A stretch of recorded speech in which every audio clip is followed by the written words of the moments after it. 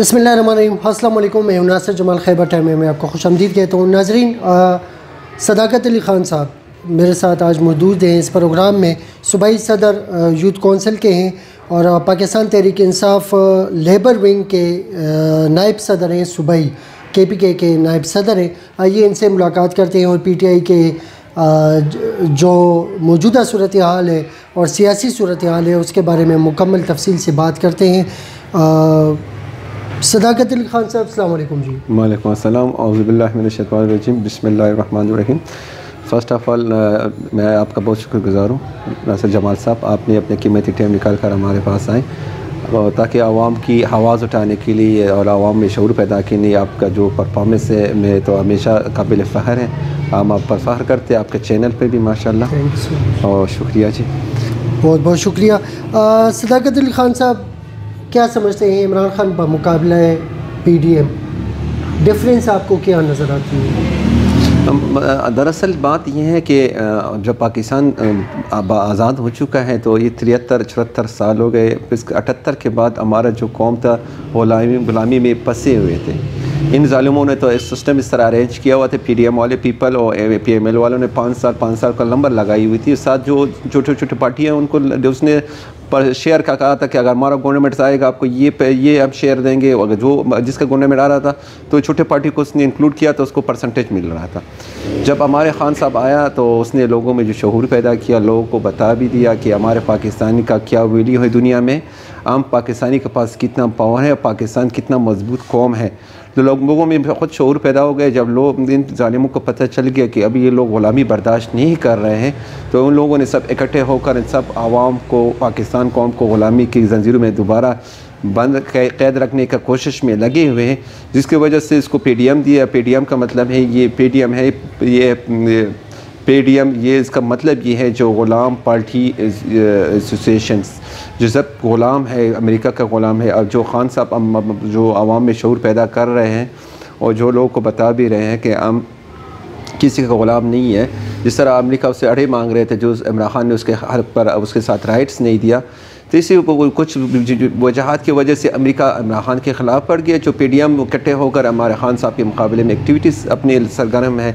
लेकिन तारीख गवाह रहेगा इन हमेशा फ़तः हक का हो चुका है हो रहा है इन होगा हमारे इमरान खान की भी फ्रीडम इन बहुत ज़बरदस्त शिकस्त खाएगा इन तो क्या समझते हैं ये घड़ी चोर घड़ी चोर का जो हम सुन रहे हैं ठीक है? तो इस दाग को वो दो पाएँगे?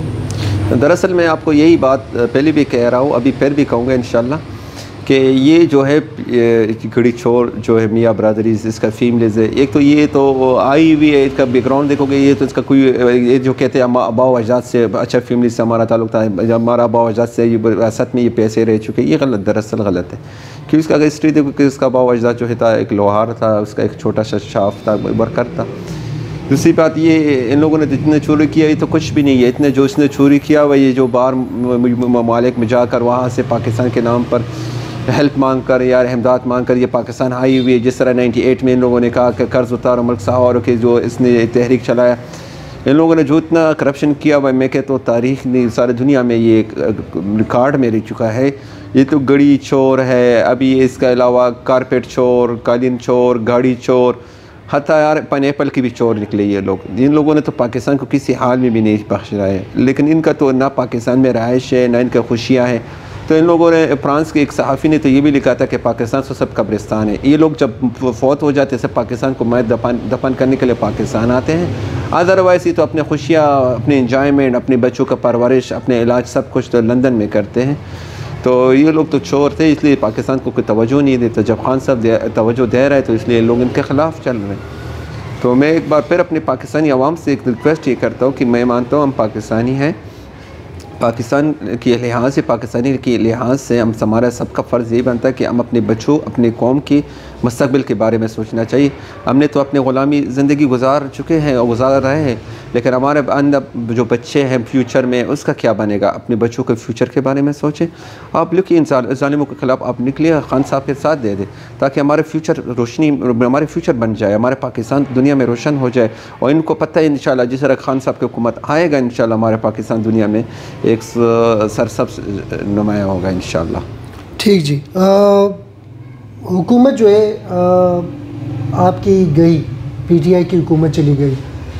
फ़र्क क्या समझते हैं कि पिछली हुकूमत में और इस हुकूमत में फ़र्क क्या है?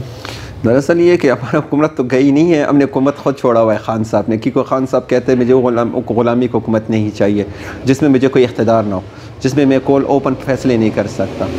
तो फिर जब पी टी एम वाले आए तो इनका फैसले आप लोग देख रहे उन लोगों, इन लोगों ने तो पाकिस्तान को तो बिल्कुल नहीं बात ये जब हमारे गवर्नमेंट जा रहे थे, हमारा स्टेट बैंक वर्ल्ड बैंक में हमारा अपना इस बजट में बहुत पैसे अब खान साहब ने छोड़ा होता है अभी पाकिस्तान के पास तो कुछ नहीं है।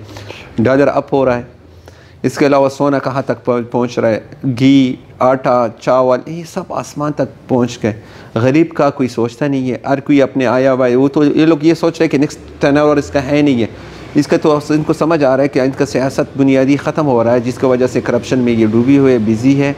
आवाम को कोई तवज्जो नहीं दे रहा है इलेक्शन को तवज्जो नहीं है। खान साहब तो ये चाह रहा है कि कलेक्शन हो जाए, ये नहीं चाहते। जो अब निगरान हुकूमत है तो ये भी इन लोगों का है। निगरान हुकूमत इन्हीं वो लोगों का है। इनका रिलेटिव बंदे हैं, इनका ब्यूरोक्रेट्स है, इनका मिनिस्टर्स सबक मिनिस्टर रह चुके हैं, जिसकी वजह से आवाम को भी बहुत तकलीफ़ दे रहा है, जिसके खान की भी दुश्मन बने हुए आवाम की भी बनी हुई। लेकिन ये ये नहीं सोच रहे कि अकेला पाकिस्तान खान का नहीं, इनकी भी है, इनकी भी पहचान है, इनके बच्चों की भी है। लिहाजा अपने बच्चों पर, अपने हाल पर ज़रा तरस का है तो मौजूदा हुकूमत तो अभी जो लोग कह रहे थे कि खान साहब आटा महँगा किया, वही चीज़ें महँगा किया, अभी वो आवाम खान के पीछे रो रहे, कहते हैं, खान साहब ने जो कहा था कि आप लोग मुझे हमेशा याद रखोगे। जब मैं जाऊँगा, आप लोग को मेरा कदर आएगा। अभी सिस्टम है कि लोग अभी भी पुकार चला चखे चलांगे मार रहे हैं कि खान साहब का हुकूमत आना चाहिए। लेकिन बदकस्मती से ालिमों को गवर्नमेंट की तरफ़ से ना इलेक्शन हो रहा है ना इलेक्शन का इजाज़त दे रहे हैं। इन हो जाएगा इन और महँगाई आप ख़ुद देख रहे हो आवाम को पता है कि क्या पोजिशन है। ठीक महँगाई तो बहुत ज़्यादा है। लोग बहुत ज़्यादा परेशान हैं। परेशानी ने यानी आवाम के परचखे उड़ाए हुए हैं इस वक्त। जो हालात हैं। हुकूमत किसकी देख रहे हैं? आइंदा हुकूमत जो है। देखो आवाम में शहूर अलहमदिल्ला पैदा हो चुकी है। जो पंजाब की हुकूमत गवर्नमेंट्स का मैं बात कर रहा हूँ, ninety two thousand fourteen fifteen में मैं जब पंजाब ख़ुद गया हुआ था तो वहाँ लोग हमारा खान के पीछे बातें कर रहे थे कि यार, ये खान है, ये फ़लाना फ़लाना। पी डी एम को हुकूमत मज़बूत है खसूस बेखसूस पी एम एल का।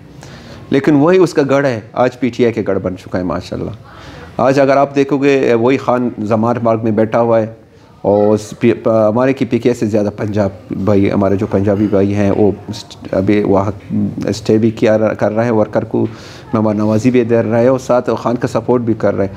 लेकिन उनको अभी पता चल गया कि ये लोग जब है, सब चोर थोलिया है, उनके साथ खड़ा होना बेवकूफ़ी है। इन लोगों ने जो अपना टाइम वेस्ट किया तो उसके पीछे भी ये लोग खपा है। क्योंकि सबको पता है कि उनका वो तो पंजाब वाला माशा बिज़नेस वाले लोग हैं, उसका इंडस्ट्रियल बहुत रुके फैक्ट्री सब कुछ उसको डिस्ट्रॉय कर दिया इन लोगों ने। महँगाई को आसमान तक पहुँचा दिया। रॉ मटेरियल अब बाहर से जो आता है, उस पाकिस्तान का तो अपने नहीं है। वो भी अभी बोर्ड बढ़ गया डॉलर भी बढ़ गया। जिसकी वजह से उनको पता चल गया, ये तो सब अपनी अपनी अपने लिए आ रहा है अपनी अपनी फैमिलीज़ के आ, आ रहे हैं। ये तीन चार फैमिलीज़ है जो अपने पैसे बिज़नेस बना रहे हैं इसका तो बिज़नेस बना हुआ है गवर्नमेंट्स तो अभी जो है इन बच्चे से अगर पूछोगे वो आपको क्या इलेक्शन हो जाए? खान साहब प्राइम मिनिस्टर था है और रहेगा इन हमारा नेक्स्ट गवर्नमेंट तो हमारा तो हंड्रेड परसेंट है। एक सीट भी इन पी एम एल वाला हमसे नीचे के जे यू आई ने बहुत ज़बरदस्त किस्म की आपसे इलेक्शन जो है जीत चुके हैं ये बल्दियात में। तो क्या समझते हैं, इस बार जो है, जो हालात कुछ बदले हैं, कुछ आप समझते हैं कि पीटीआई का वोट बैंक ज़्यादा हो जाएगा? देखो फ़र्स्ट ऑफ़ ऑल मैं आपको एक बात कहता हूँ, हम तो कि पी के अवाम बेखसूस ये तो बहुत एक मजहबी माइंड लोग हैं। लोगों में तो कुछ लोगों ने एजेंडा लाया हुआ था कि खान साहब ये ये एजेंट है, यू इसराइल का, कोई कहते हैं यूएसए का है मतलब डिफरेंस उस लोगों लोगों ने एक तहरीक चलाया हुआ था, लेकिन लोगों को पे बात पे पता चल गया कि नहीं, ये गलत है। दूसरी बात है कि जो इन लोगों का बात आप जब कह रहे हो ना, मजलिस अमल का कई इशूज़ है कि देखो पाकिस्तान में सबसे बड़ा कहते हैं, जिसका रुपया ज़्यादा चलता है, इन लोगों ने जो पैसे इन्वेस्ट किया, ख़ुद गुलाम अली साहब ने ख़ुद इकरार किया था कि 20 करोड़ उसने खर्चा किया हुआ है। बीस करोड़ तो सब कहना मुँह से है लेकिन उसको गिन लोगे तो बहुत बहुत बड़ा पैसा रकम है। वो तो पहाड़ में सुराख बना सकते पिशावर की हुकूमत या के पी के गवर्नमेंट्स में थोड़ा सीट जीतेगा तो, तो कोई मामूली बात है। लेकिन ये है बात है कि जो लोगों ने अभी उसको वोट भी दिया हुआ है पैसे लेकर अपनी ज़मीर को सेल किया हुआ है वो भी पछता रहा है कि हमने गलती किया हुआ है। थोड़े से पैसों के लिए अपनी कौम को अपने फ्यूचर को अपने बच्चों को मैं ग़ुलामी की जंजीर में बाँध लगा है इन इन करीबन दोबारा लोगों में शूर होगा और इन हमारा गवर्नमेंट आएगा बहुत भरपूर एक्सेंट के साथ आएगा। और पी पी के के आवाम तो माशाल्लाह मशहूर लोग हैं। ये तो पहले भी खान को सपोर्ट किया था, अभी करेगा, इसकी बात भी करेगा, क्योंकि हमारे पी टी आई तरीक इंसाफ का स्टार्ट भी की पी के से हुआ है इन एक बार फिर भी इन लोगों को बताएगा कि की पी के का आवान पी टी आई तरीक इंसाफ के साथ खड़े थे, खड़े हैं और खड़े रहेंगे इन मीडिया और मौजूदा हुकूमत या निगरान हुकूमत जो कुछ कर रही है आ, इस बारे में पी डी एम के जितनी भी अहदेदारान हैं अपोजिशन के हैं या वो सियासतदान तो हैं कम अज़ कम। कल को अगर उनके साथ होगा तो क्या समझते हैं ये ठीक है या गलत? दूसरी बात ये है कि देखो मैं तो ये कहता हूँ मीडिया तो हमारे पाकिस्तान में तो हमारा स्ट्रॉन्ग मीडिया है लेकिन अल्लाह ताला इनको कामयाबी और भी दे लेकिन मैं ये रिक्वेस्ट करता हूँ अल्लाह इनको आज़ादी भी साथ दे। हमारे मीडिया तो है लेकिन वो तो माशाल्लाह बच्चा भी समझते हैं उसके डीप नहीं जाना चाहता। पीडीएम के हवाले से पीडीएम अगर वो कब चाहते हैं कि गवर्नमेंट से इमरान खान को सपोर्ट करते वो तो कहते हैं कि खान जितना जल्दी ख़त्म हो जाए तो खुशी का जश्न मना रहे अगर खान साहब का एक पाव ज़ख्मी हो चुका था तो ये लोगों ने तो बाकायदा मिलाद भी बनाई थी, साथ की जश्न बनाए थे कि यार ये शुक्र हुआ ये से हमारा चुकारा हो रहा है। लेकिन ये बात, ये भूल रहे हैं कि इन कहते हैं, आज मेरा नंबर है कल आपका नंबर रहेगा इनके भी यही नंबर आ सकता है। अगर इनको थोड़ा सा सोचने चाहिए और तन्हाई में बैठना चाहिए, अपने अपने साथ सोचना चाहिए कि ये जो कर रहे हैं, क्या ये पाकिस्तान के लिए या इनके बच्चों के लिए या इसके फ्यूचर के लिए सही है? या पाकिस्तान के राम को ये दुनिया में रोशन कर रहे हैं या ख़त्म कर रहे हैं? हमारे बड़ों ने तो 1947 में तो बहुत बड़ी कुर्बानी दी थी इससे पहले। पाकिस्तान आज़ाद करने के लिए। या वो उन लोग आज़ादी भी इन लोग, उसकी कुर्बानी भी लोग वेस्ट कर रहे हैं। इसके अलावा 1965 देखे 72 देखे 98 में जो करगिल का जंग हो चुका था, इसमें तो हमारे बहुत बड़ों ने, बड़े बुज़ुर्गों ने, हमारे बहुत जवानों ने शहादत दी पाकिस्तान के ख़तर तो उनको भी ये नहीं सोचते, पाकिस्तान तो एक इस तरह मुल्क तो नहीं है जिस तरह ये लोग सोच रहे हैं इन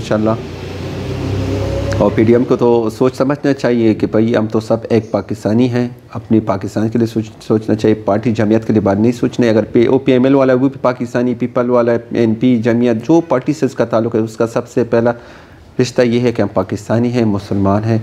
तो पाकिस्तानी के खातर हमको सोचना चाहिए कि हमारा फ्यूचर कहाँ है? हम हमारे करेंसी कहाँ पहुँच रहे हैं? हमारे इकनॉमिक्स कहाँ पहुँच रहे हैं? गुरबत कितना फैल रहे हैं? अभी आप घर घर में जाओगे जो सफ़ेद पोश लोग थे, जो अच्छे फैमिली से मिडल फैमिलीज़ थे, वो भी रोने पर आए हुए हैं। अभी इतना आप अगर रोड पर जाओगे तो 99 परसेंट लोग जो मिडल फैमिलीज़ के हैं, वो बीक मांग रहे हैं। इतनी मजबूरी में आए हुए, जो बीक मांग रहे थे तो वो तो फुटपाथ सड़क पर अभी बैठ गए।